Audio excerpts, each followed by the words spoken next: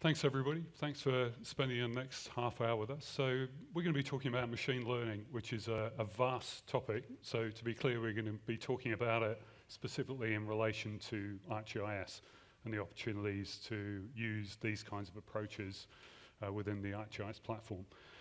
We'll have a, a very brief um, discussion around what we mean by machine learning in this context, and then we're going to look at some examples of machine learning expressed in both existing capabilities and brand, brand new capabilities. Um, so I hope you find it um, an interesting session. Let's start with this uh, brief look at the definition. And I, I put this slide up because I, I, don't profess to be a machine learning expert by any means. I mean, I'm, I'm, I'm learning as I go, especially in relation to how uh, I can leverage these capabilities from a spatial perspective. But I often see this kind of breadth of terminology in press articles I read, in, in feeds and so on.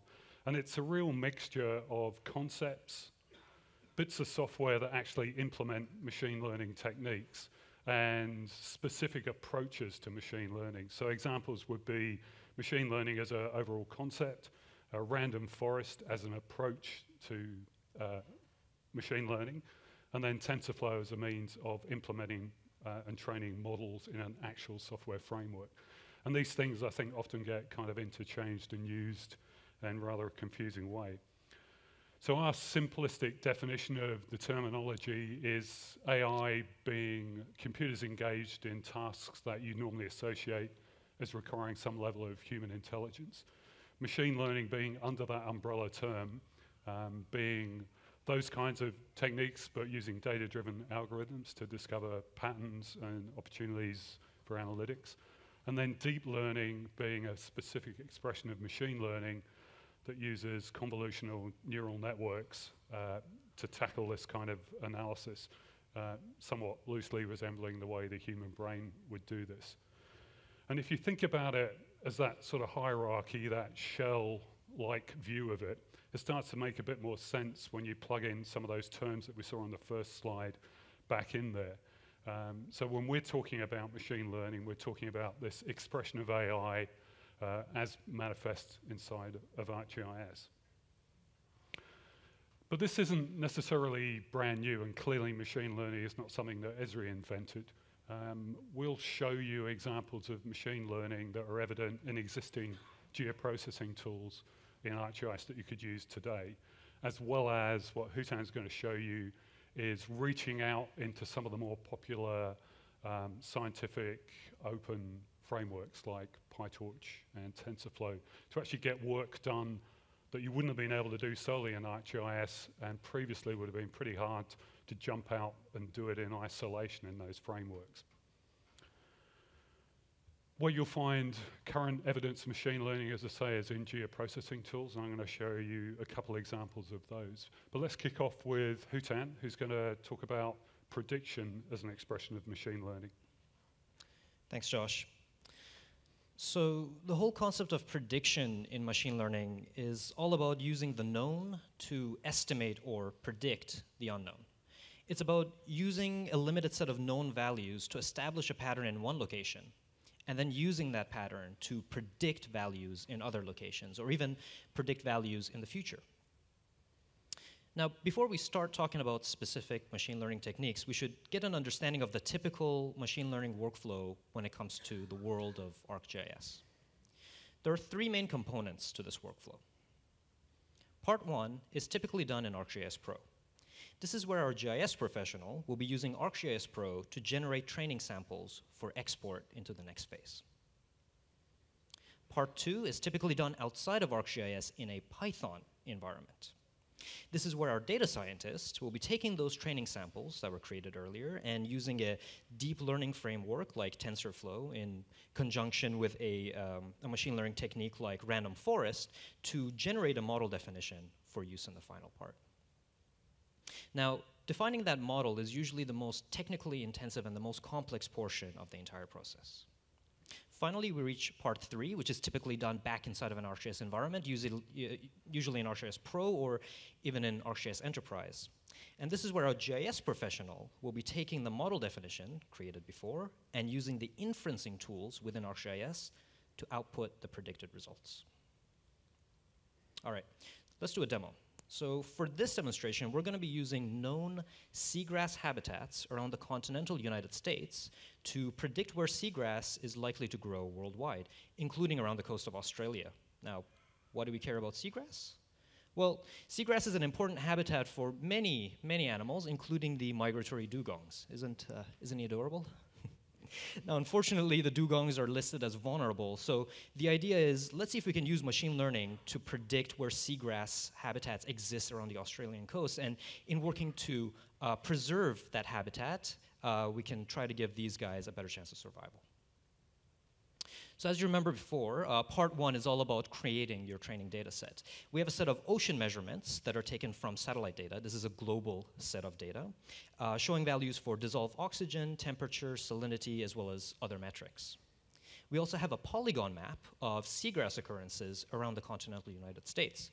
So to create our training data set, we're going to be combining these two sets of information for random point locations around the coast of the U US. So each of those point features will have all of our ocean measurement data at that point, as well as whether seagrass grows there or not. Now that our training data set is created, we move on to phase two, which is training the model itself. As you can see, we're now outside of an ArcGIS environment and we're in a Python environment. We use the scikit-learn library to run a random forest classifier and we'll export the trained model definition for use in the final phase. Finally, we've reached phase three. Uh, we'll run our trained model against our global set of ocean measurements, and we can see our inference results here. So each of those points is where the machine is predicting or estimating seagrass to grow based on the behavior that it observed for seagrass around the coast of the US. We can convert these points to raster, and we can better visualize our results. So we can see there definitely seems to be a bit of a correlation between where the machine is predicting seagrass to grow most densely, particularly around the northern coast of Australia, and where the known habitat of the migratory dugongs is known to be. I'm going to hand it over to Josh to talk about another application of machine learning, which is clustering. Over to you, Josh. Thanks. So clustering for me is probably one of the best examples I can think of of where a machine, a computer is likely to do better than me as a human. Um, what I can do with my eye in terms of discerning clusters of phenomenon, clusters of observations versus noise is very limited. Um, I can convince myself I'm doing a good job because it looks like I'm seeing clusters, but are they Statistically significant clusters, almost certainly not. It's just a very kind of or visceral impression of what I'm looking at. So the tools that exist already in ArcGIS to do that scientifically are really powerful and they kind of fall into three categories.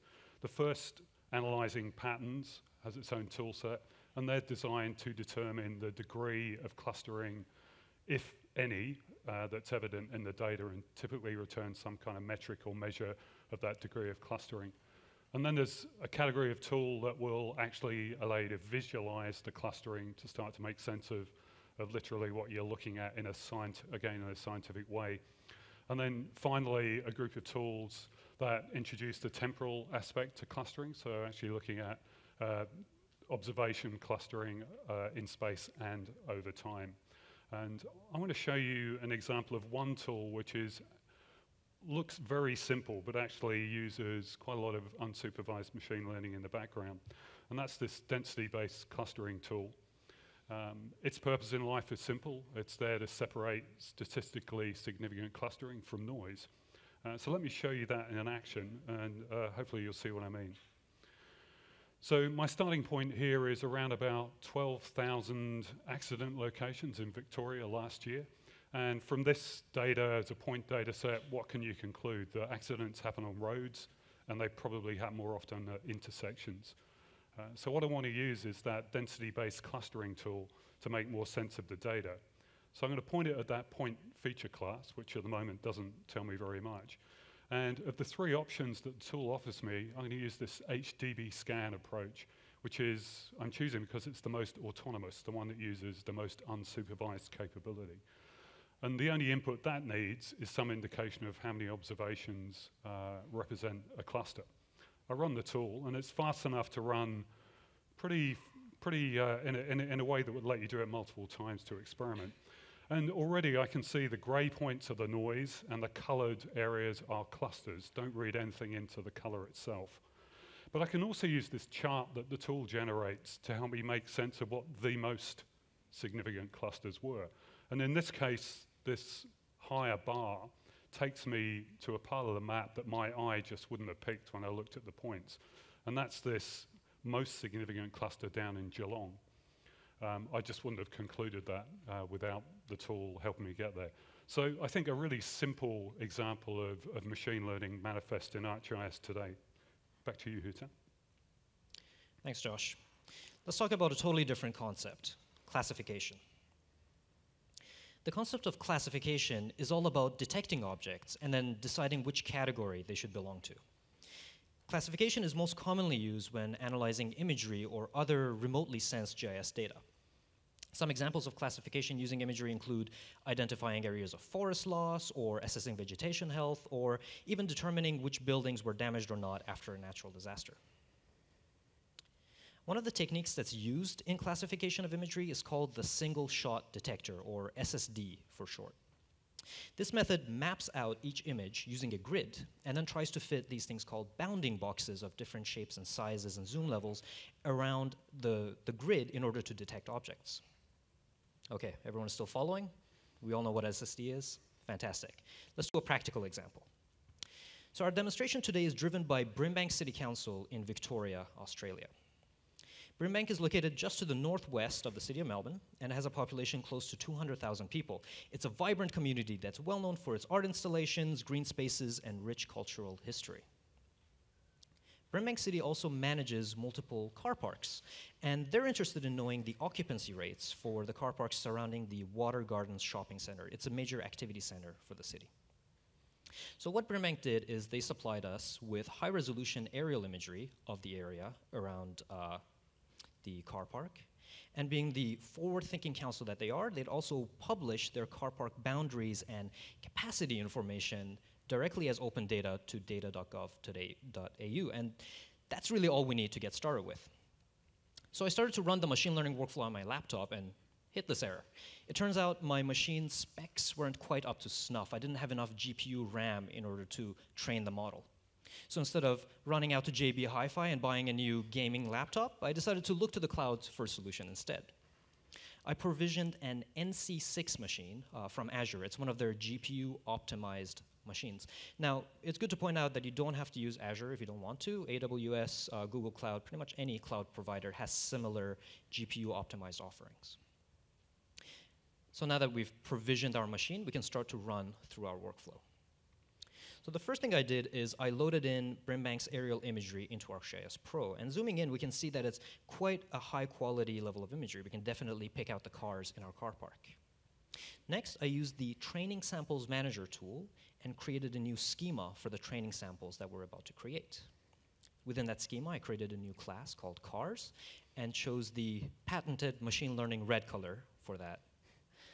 After selecting cars, I used the polygon selection tool, and then I started to pick out individual samples of cars within my parking lot, within my car park. So what I'm doing here is I'm telling the machine, this is an example of what a car looks like here's another example of what a car looks like. Now, you might have noticed that we're zoomed in to a small section of the, uh, the Water Gardens car park. And there's a good rule of thumb when it comes to machine learning. It's that you can never have enough training samples. So after selecting all the cars in this section of the car park, you can see I zoomed out and picked out other small sections in other parts of the car park and created training samples there as well. In this way, we have examples of cars facing north-south, cars facing east-west, and everything in between. We have red cars, blue cars, so on and so forth. So by doing this, we're going to try to give our, uh, our algorithm the best chance of success. After that, uh, we use a geoprocessing tool called Export Training Data for Deep Learning. It's a pretty straightforward tool. It's all in the name, really. And we point it to these samples of cars that we've picked out. And the output of this tool is a folder of what are called image chips. So each of these little JPEG uh, files is essentially a cutting of our imagery. And the files that support these JPEG files uh, indicate whether a car was labeled to exist in that particular image chip and where it was located. And this is it. This is our training sample. We can move on to phase two. Now, all of the code that I'm going to show you here, this Python code, you can run it in a script, but in order to make things more visual, we're using a Jupyter notebook, so we can run through things line by line. So the first thing I did is uh, from the arcgis.learn library, I've imported the single shot detector module. And we're pointing our code to the image chips folder that we created earlier. And here we can see some of the sample outputs from that image chip. So some of those cars are labeled as car with little bounding boxes. Next, we start to define the parameters for our SSD, our single shot detector. We're giving it the number of grids that it's supposed to use, the zoom levels, and then we use our training data to find the learning rate for our machine learning. Putting all of that together, we can train our actual model, and we can see some of the sample inference results within our code here. So the left-hand side is what we fed in as image chips, and the right-hand side are some of the cars that it was able to pick out using the code that it trained.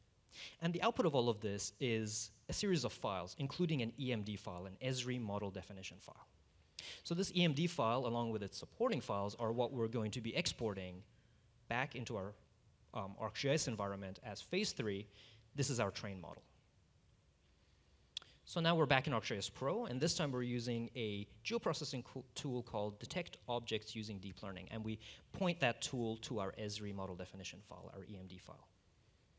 After running the tool, we can see the output is a series of polygons for where the machine is predicting cars to exist in our imagery. You can see it's pretty good, but it's not perfect. It definitely misses some cars sometimes and it counts other cars twice. Now, in order for us to get our accuracy up, the accuracy and the efficacy of our trained model up, we need to tweak our parameters in the single shot detector or perhaps run the training over more iterations so we can have a better model.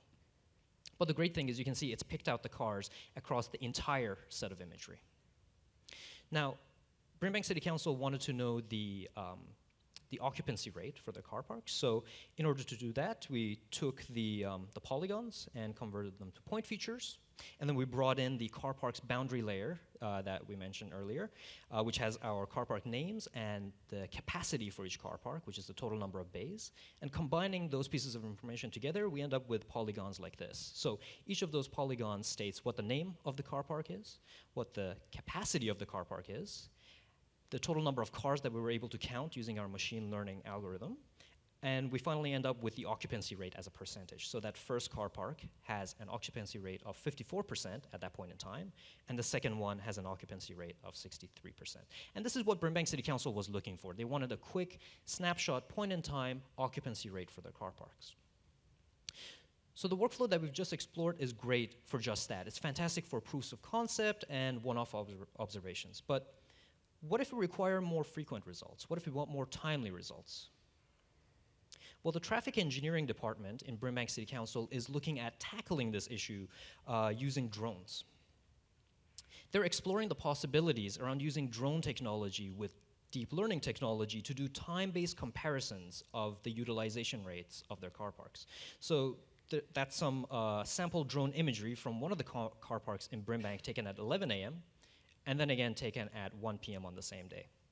Now, if we wanted to support this kind of approach using ArcGIS and machine learning, uh, we need to modify our workflow slightly. So we'll keep the first two steps just as they were before.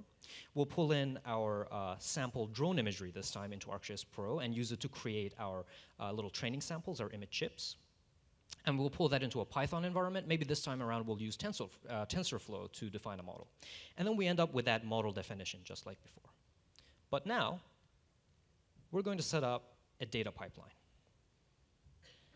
So whenever the traffic engineers at Brimbank come back with new drone imagery, that drone imagery is automatically fed into an ArcGIS image server. And then we're going to use the inferencing tools, the geoprocessing tools within image server in conjunction with the model that we trained earlier to perform our inferencing and then push the results directly out to Portal.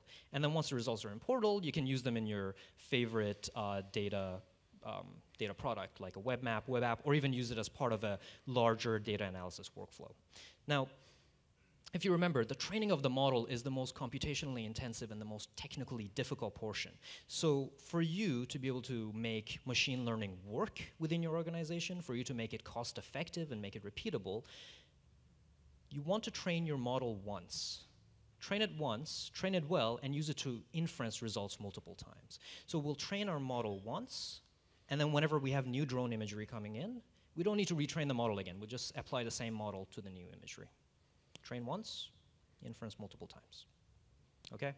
Going to hand it off to Josh to talk about integrations. Thank you.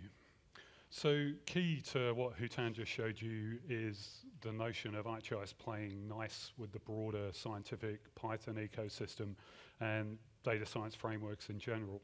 And I think Python's always been a good story from an Esri perspective. Uh, but I wanted to talk about another aspect of this, which is the world of R, RStudio, Shiny, and all that kind of environment, which is arguably uh, equally, if not more, heavily used in the data science world. And Esri have a solution that allows you to get the best out of both worlds, and I wanted to just bring that to your attention. So my starting point this time is tens of thousands of crime locations uh, in the city of San Francisco. And my first analytical step is to simply aggregate those into hex bins and remove areas where there's no population, no crime. Um, so simple aggregate by count, and then I followed it up with a emerging hotspot analysis which would give you one view of crime in the city. But I actually want to look at crime rate. And I know that in R, there's an eBayes package, which has an empirical Bayes um, algorithm that I want to use. So back in RStudio, I load up ArcGIS binding, the R bridge, and I, get, I grab a license, which lets me talk to ArcGIS. And then I reach into my project in ArcGIS and bring the data in a feature class across into R. There, I turn it into a spatial data frame, so you can see the polygons there that represent the hex bins. And my next step is to do a bit of data wrangling to add a column to accept the result of the crime rate. And then I actually run this eBay's algorithm to generate my value for each hex bin of the crime rate. When I'm done with that, I push it into the column I created in the data frame and then push the data back into ArcGIS. So I've done where I, have done the job of the crime rate calculation where I thought it was best done in R. If I refresh my view of the data now, you can see the feature class that was just a data frame is now a feature class.